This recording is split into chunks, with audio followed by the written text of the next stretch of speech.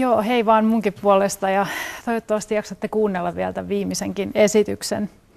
Eli mä puhun teille tota, tästä meidän Enäjärvi-projektin ja meidän Länsi-Uudenmaan vesi- ja ympäristö ryn yhteishankkeesta. Eli Länsi-Uusimaan järvi hoi. Ja mä oon tosiaan Anu Suompää, toimin tuolla Luvyssä niin vesistötutkijana ja tämän hankkeen osa-aikaisena koordinaattorina myöskin. Ja tosiaan meidän hanke saatiin käyntiin tuossa toukokuussa viime vuonna.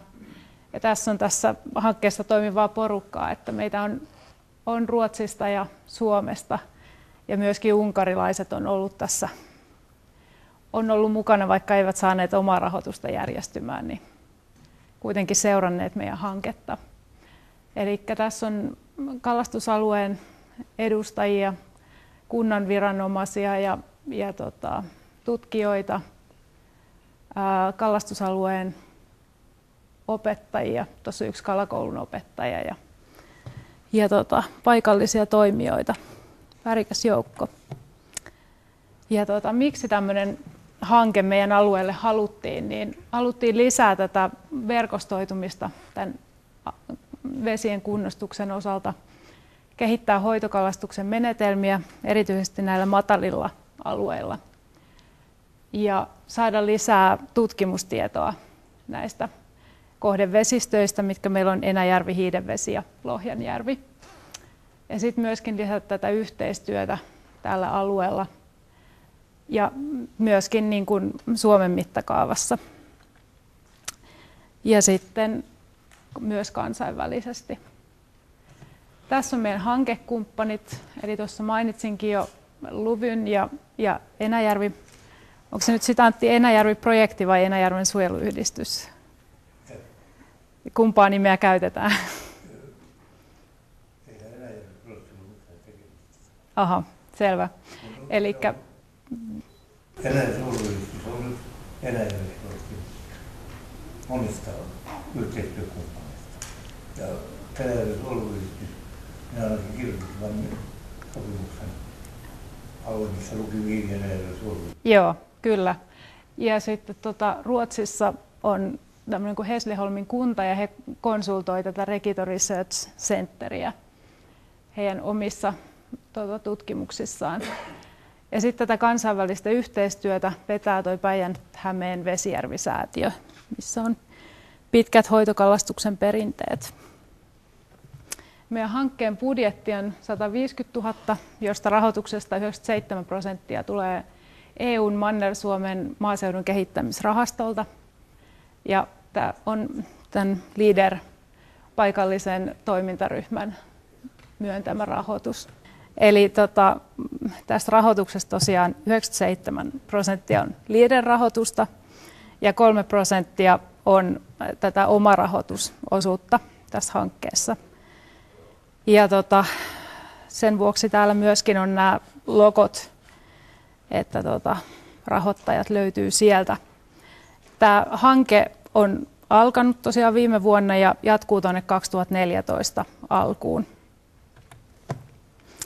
Ja sitten meidän hankkeen tavoitteita, eli halutaan kehittää tätä vesien kunnostusta tutkimuksen avulla ja erityisesti Lohjajärvessä ja Hiidenvedessä, missä on, mitkä on tämmöisiä savisameita järviä ja niissä on erittäin monimutkainen ravintoverkko, niin niihin ihan tämä perinteinen hoitokalastusmalli ei sovi. Niissä ei tällä hetkellä hoitokalasteta, mutta jos joskus tulevaisuudessa hoitokalastettaisiin, niin haluttiin tehdä tällaista tutkimusta.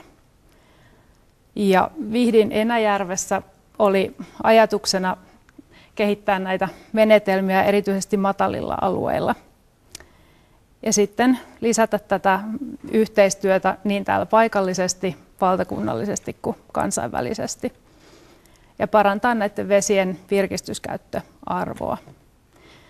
Ja tässä tosiaan nämä kohdejärvet, Lohjanjärvi, Hiidenvesi ja Enäjärvi. Ja jos mennään ensin tuonne Enäjärvelle, nämä on ihan tuttua faktaa varmasti kaikille paikalla olijoille. Eli se valuma-alue on noin seitsemänkertainen nähden tuohon järven pinta-alaan. Järvi on keskisyvyydeltään vähän reilu kolme metriä.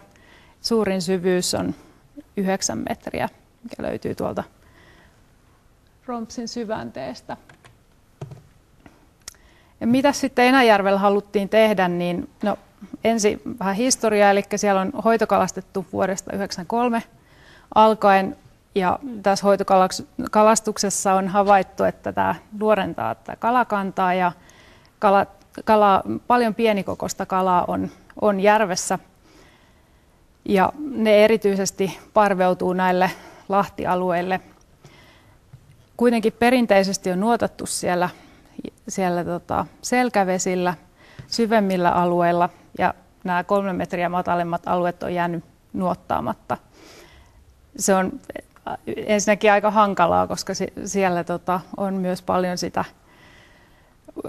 puunrankoja ynnä muita, mitä tuossa nähtiin Petrinkin kalvossa, niin siellä oli sukeltajatkin käynyt niitä noukkimassa, niin se luo tietenkin omat haasteensa. Mutta tota, tätä päätettiin tosiaan kehittää tätä menetelmää, että Enäjärvestä noin 95 prosenttia on alle kolmen metrin syvyystä kuitenkin. Sitten meidän tässä hankkeessa verrataan, että miten nämä matalien alueiden lahtinuottaukset, niin miten niiden niin kuin kalaston pituus- ja painojakaumat sekä lajitiedot sitten eroaa tästä syvempien alueiden nuottauksista. Ja tota, nämä työt on silleen mm, vapaan kilpailutuksen kautta niin on tekijä valittu ja ne toteuttaa Kari Kinnunen ja tulokset raportoi niin Juhani Niinimäki ja Antti sitten vastaa tästä saalisotannasta. Siinä on Juhanilta yksi kuvakin, että Enäjärvellä ollaan hoitokalastamassa. Ja mitä sitten on tehty, niin viime vuonna oltiin kahdeksalla lahtialueella. Ja tota, jokaisella näillä alueilla niin vedettiin kerran. Ja tota, nämä alueiden koot vaihteli tuommoisesta yhdestä hehtaarista päälle kolmeen hehtaariin. Ja tota, nuottaukset tehtiin niin syyskuussa ja marraskuussa. Tuossa sitten näkyy nuo alueet. Ja sitten vähän tuloksista. Nämä on tosiaan alustavia tuloksia, koska hanke on edelleen kesken. Mutta siis viime vuonna tämä kokonaissaalis näistä kahdeksasta nuottauksesta oli aika vaatimaton 750 kiloa, 18 000 kappaletta kaloja. Jos tätä ajatellaan, mitä se olisi nuottauskertaa kohti, niin se on 94 kiloa ja 2300 kappaletta. Ja sitten tätä nuotattua pinta-alaa kohti, niin 51 kiloa ja 1250 kappaletta. Ja jos tätä verrataan, että mitä tämä oli tuonne syviin alueisiin nähden, niin noin 1 20 osa oli tämän saaliin koko näillä matalilla alueilla. Ja tota, tässä sitten, jos katsotaan tätä lajijakaumaa, niin, niin, niin syvillä alueilla eniten on ollut särkeä lahnaa, niin myös matalemmilla alueilla. Ja tota, mutta nämä on tosiaan pienempiä nämä kalamäärät verrat, matalilla alueilla verrattuna syviin alueisiin. Ja jos katsotaan sitten keskipainoa, miten se jakautuu niin kuin grammaa kappaletta kohti, niin vähän niin kuin yllättävästikin niin meillä oli suurikokoisempia lahnoja ja pasureita täällä matalilla alueilla verrattuna syviin alueisiin. Mutta tosiaan nuottaukset jatkuu ja, ja tota, tänä vuonna sitten katsotaan, että mitä tulokset tuo. Muuttuuko muuttuuko tulokset vai ei. Sitten jos mennään tuonne kahdelle muulle kohdejärvelle, eli Hiidenvedelle ja Lohjanjärvelle. Hei, Joo. Niin toi, kun siinä on toi nuotattu pinta-ala kohti 51 kilohehtaaria, niin eihän se kovin pieni. Niin, no jos katsotaan kokona, kokonaissaalista, että verrattuna tuohon niin kuin tuohon syviin alueisiin. Ulinen 100 kiloa hehtaaria pitäisi ottaa. Ja nyt ottaa tämän nuotatun pinta-alan. Ja sitten kun se on vielä pienempää kalaa, toi särkiä salkkaa. No ei tällä mitään väliä. No mennään eteenpäin. Joo, ei se ihan hehtaaria tuossa ole se pinta-ala.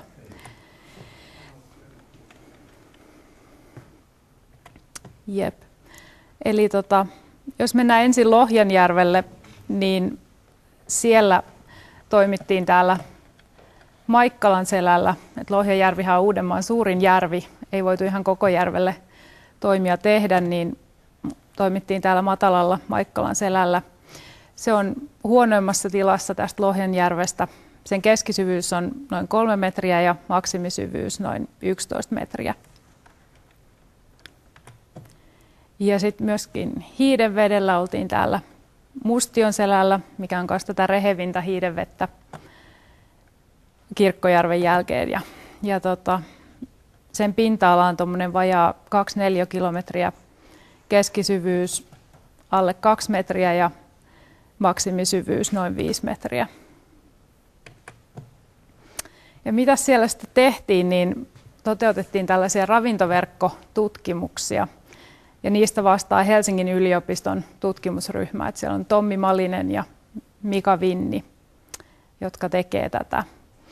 Ja tällä haluttiin selvittää erityisesti sulkavan ravinnon käyttöä ja sen näiden ravintokohteiden sulkasääsken toukan ja petovesikirpun esiintymistä näissä kohdealueilla. Ja tota, mä nyt tästä biologisesta puolesta tavallaan tässä, niin saisi jo oman esityksen aikaiseksi, mutta, mutta jos nyt lyhyesti totean tästä, että jos sulkava ei käytä näitä, näitä suuria selkärangattomia, eli sulkasäsken toukkaa ja petovesikirppua, niin sen niin kuin ravinnokseen, niin sitä voitaisiin hoitokalastaa ilman, että sillä on vaikutuksia tähän muuhun ravintoverkkoon. Että aikaisemmin kun hiidenvedellä on hoitokalastettu, niin siellä on havaittu, että, että saattaa olla, että jos kalastetaan esimerkiksi kuoretta, joka käyttää näitä ravinnokseen, niin seuraukset saattaakin olla toiset, eli saattaakin jatkua ja tätä saattaa kiihdyttää järven rehevöitymistä eikä, eikä niinkään vähentää, mihin hoitokalastuksella pyritään. Ja miten nämä toteutettiin, niin oltiin tota, tämä tutkimusryhmä teki verkotuksia, missä kerättiin näytekalat ja tota, niiden sitten mahan sisällöt analysoitiin tai suolen sisällöt. Ja tota, myöskin sitten kaikuluotaamalla selvitettiin tätä sulkasääsken esiintymistä ja, ja, ja tota, planktonhaavinäytteenotolla sitten tämän petovesikirpun tässä sitten vähän alustavia tuloksia. Eli tässä on nyt kaikuluotauskuvaa Lohjajärven Maikkalan selältä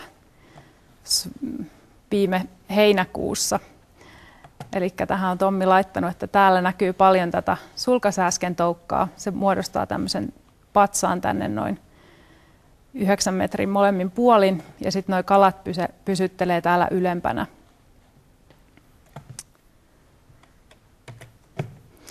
Ja tässä sitten näitä suolen sisällön analyysejä, eli tässä on niin kuin, näytteenotot on nyt ollut viime vuonna heinäkuussa, elokuussa ja syyskuussa. Ja tota, tässä on tämä N-lukumäärä, tarkoittaa sitä kalojen lukumäärää, eli saaliit on pienentynyt tonne sitten syksyä kohden. Ää, tässä sitten laitoin vain näitä kuvia, että tässä miltä näyttää sulkasääsken toukka, niin se on tämän näköinen. Ja petovesikirppu on tässä ja, ja tota, sitten tässä on ihan tämmöinen tavallinen vesikirppu on sitten täällä alhaalla. Et nämä käyttää niin kuin lähinnä toisia niin kuin eläin, eläimien ravinnokseen ja tämä on sitten semmoinen enemmän kasvinsyöjä. Kuvasiko tuossa edellisessä sitä sääskien toukkia ja muuta, niin se tiiviys siinä kuvassa. Joo, kyllä se kertoo siitä, että siellä on paljon näitä, kyllä. Se tiheys on tuo, niin No, tämä on vähän silleen, että tämä yksi piste niin kun ei ihan tarkoita yhtä kalaa, että ne kalat on siellä vähän rykemmissä. Että sitä on, on sit vaikea.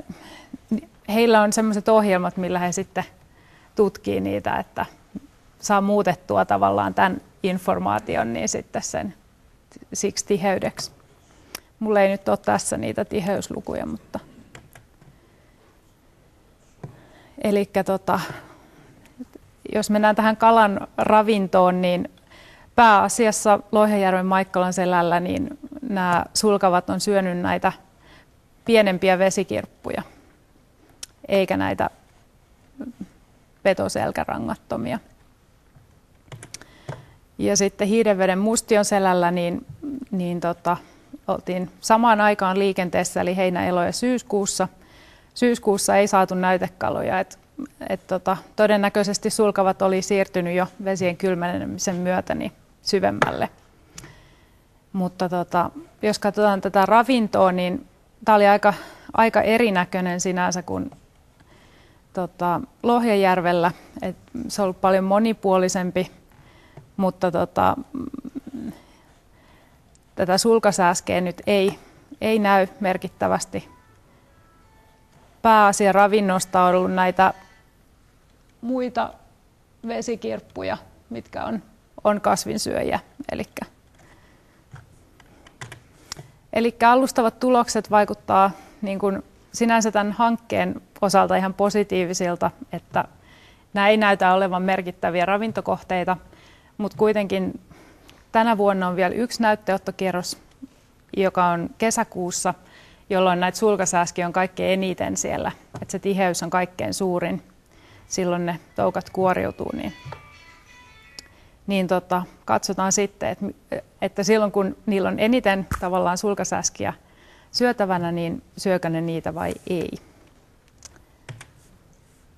Sitten jos mä menen tähän hankkeeseen muuten, mitä kaikkea muuta me ollaan touhuttu, niin tässä on tämä kansainvälinen vuorovaikutus tapahtuu tämmöisen kolmen ää, työpajan kautta.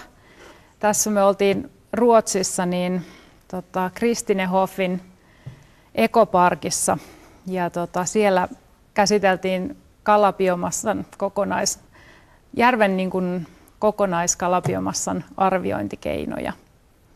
Ruotsalaiset oli järjestänyt meille ihan hyvät puitteet sinne. Sitten täällä Suomessa niin ollaan oltu tuossa Päijät-Hämeen Vesijärvisäätiön järjestämät pyydystalkoot, mitkä on varmaan aika monelle täälläkin tuttu tapahtuma.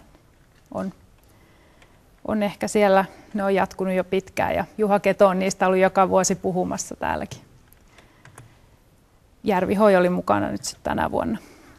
Sitten me oltiin, tota, tämä hoitokallasaaliin hyötykäyttö on myös meillä tässä yksi aihe, joka tota, erityisesti Päijät-Hämeen Vesijärvisäätiön hankkeessa on tämä esillä, niin me oltiin tutustumassa tämmöisen kalamassan valmistukseen Savokala Oyssä tuossa. Tässä ollaan puhdaspuolella, niin siellä voi näkyä jotain tuttujakin kuvissa. Ja tuossa on sitten kalan käsittelyä. Ja mitä on tulossa, niin meillä on tulossa yksi työpaja tässä toukokuussa. Mennään tuonne Unkariin, ja jossa on tarkoitus puhua tästä hoitokalasaaliin hyötykäytöstä. Sitten Järvihoi tulee olemaan mukana kesäkuussa järvipäivillä, mitkä on järjestetty aina tuolla Porlassa.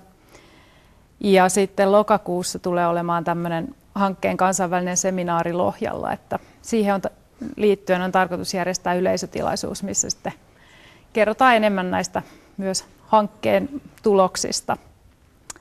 Että sinne vaan tervetuloa ja, ja kerrotaan kaikista tapahtumista niin Hidenveden uutispostin yhteydessä ja hankkeen sivuilla ja lisää tietoa löytyy näistä osoitteista. Sitten vielä tässä pakko mainostaa, eli Suomen ennätys sulkava, jos ette tiennyt, niin tuli Lohjanjärvestä. Sieltä löytyy kalastaja, eli Pekka Ilmarinen, saatiin tuossa tammikuussa komea kala. Joo, kiitoksia. Kiitoksia.